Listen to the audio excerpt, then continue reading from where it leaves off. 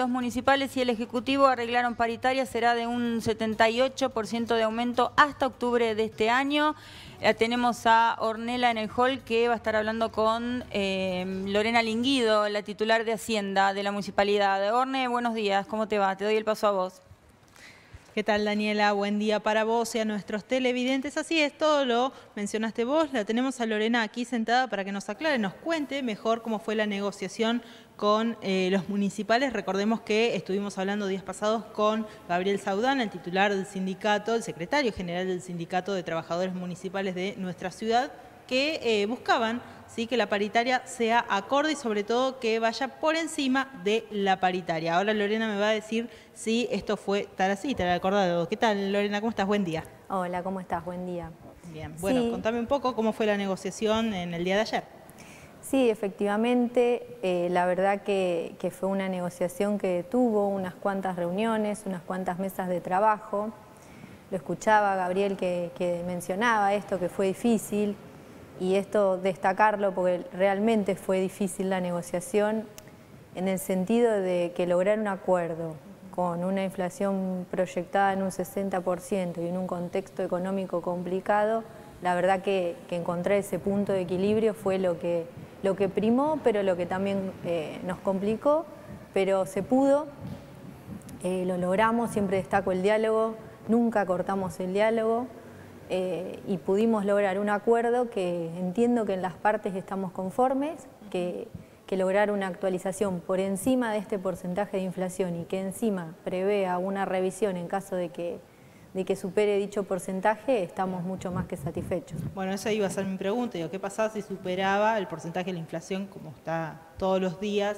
Eh, digo, si iba a superar, ¿qué pasaba si iban a volver a sentar? Bueno, lo estás mencionando vos.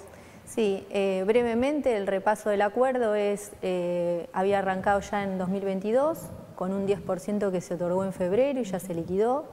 Eh, se le suma un 20% en marzo, que los vamos a estar liquidando en los próximos días, más una suma de 5 mil pesos al presentismo, y otro 10% en mayo y otro en julio. Ahí, en julio, llegan a una actualización de un 62, está previsto volvernos a sentar si la inflación supera este porcentaje, y también está previsto volvernos a sentar con este último 10 que se otorgaría en octubre, si ahí llegando al 78% la inflación supera este, este número. Bien, bueno, en octubre que es un, mes clave, digamos, por este tema de eh, elecciones, bueno, cambio de gobierno y demás, bueno, va a ser bastante complicado el mes de octubre. Sí, va a ser complicado, pero bueno, eh, en estos ocho años que estamos porque las paritarias arrancan en 2016 con la firma del convenio colectivo. La verdad que hemos aprendido un montón, eh, las dos partes. A mí me ha tocado participar de casi todas las mesas paritarias y destaco esto del diálogo. Todos los años que hemos firmado acuerdos hemos contemplado la inflación y hemos logrado poder actualizar los salarios y acompañar y que el empleado no pierda eh, sí que es un año difícil, pero, pero estamos dispuestos a trabajarlo juntos. Bien, ¿qué pasa con el pedido de ellos de eh, ciertos empleados a planta permanente? ¿Esto se efectuó?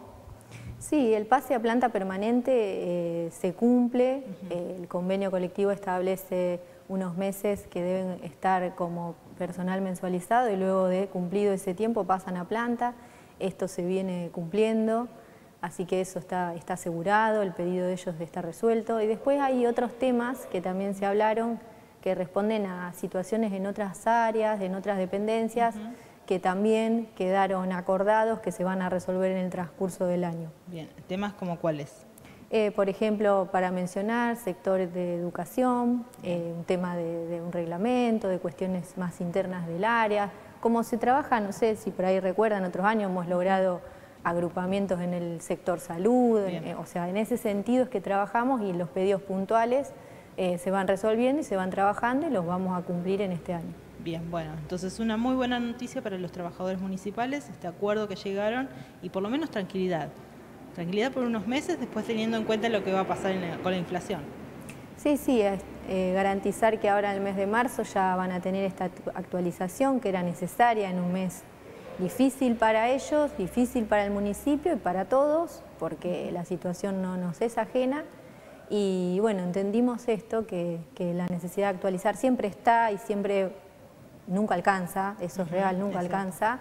Pero bueno, los municipios tenemos esta situación compleja de que nosotros, a, diferencia del Estado nacional, provincial, no tenemos otro medio de financiamiento que no sea el pago de las tasas o la coparticipación, que como les expliqué, a ellos este año volvemos a tener baja de CUD, volvemos a tener una disminución en lo que ingresan los meses y lo que llevo ya de, estos, de este año, o sea, son 200 millones menos, hoy yo estaba hablando de eso, que es lo que va, está una masa salarial, así que es una complicación.